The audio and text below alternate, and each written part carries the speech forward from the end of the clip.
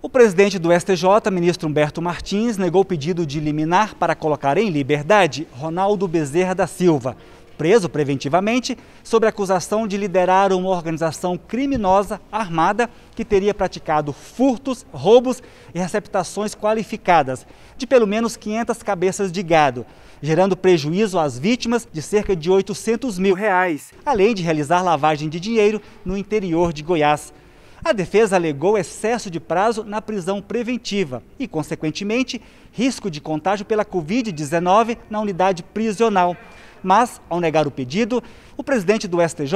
afirmou que não ficou demonstrado que o réu faz parte do grupo vulnerável ao coronavírus, como exige o Conselho Nacional de Justiça para a concessão desse tipo de relaxamento de pena. O mérito do habeas corpus ainda vai ser julgado pela quinta turma.